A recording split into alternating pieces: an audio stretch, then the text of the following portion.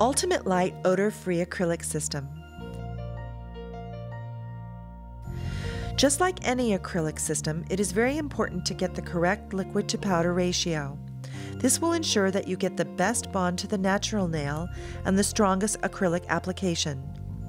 To achieve this, fully immerse your brush into the Ultimate Lyte odor-free liquid. Release any air bubbles that are trapped in the hairs. Then slide your brush against the dappen dish, the entire length of the hairs to pull off the liquid. Then flip the brush and slide only half the brush from the ferrule to about the middle. What you've done is left the liquid on only one side of the brush and near the tip of the brush. Now it's time to go into your powder. Dip your brush into the powder with the tip that now holds the right amount of liquid. To get the right amount of powder, you're going to stay in there longer than you would for any traditional monomer. Depending on the size of your brush and the amount of liquid in the hairs, you could be in the powder anywhere from 8 to 15 seconds. You will know that you have the right consistency as you place your ball on the form or nail. It should hold its shape and leave a little dimple where your brush was. It should be glossy and shiny, but not immediately self-level.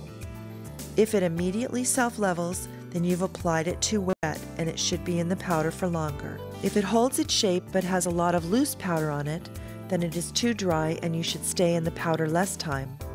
With practice, you will be able to see that your consistency is right or wrong before you even begin to pat your acrylic into place. Here is a ball that is perfect. Here is a ball that is too dry.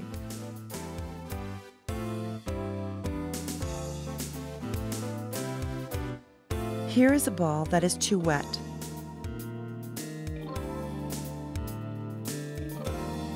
For this demonstration, we are using a revelation tip. Be sure and follow the steps in sanitation and prep before proceeding to this application. First, apply your ball of Ultimate Lyte odor-free acrylic to the revelation tip. Once you drop your ball, it is very important to wipe your brush on a paper towel to clean the hairs.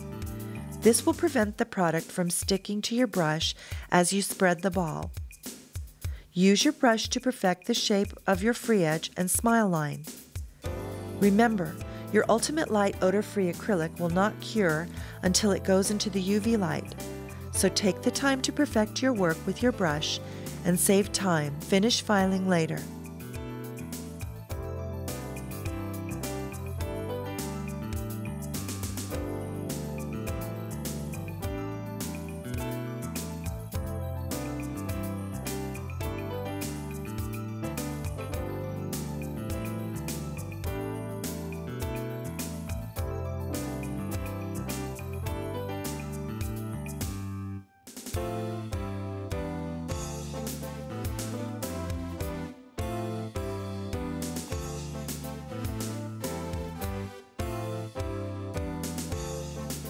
Once everything is applied, it is time to cure your nail for 3 minutes in a 9 watt UV light.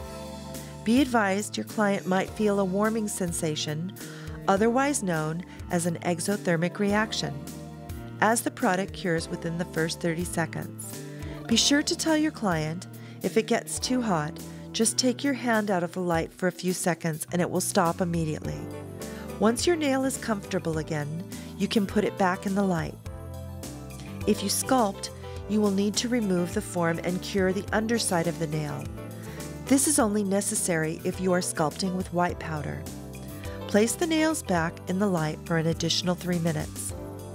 When the nail is cured, it will have a slight tacky layer to it.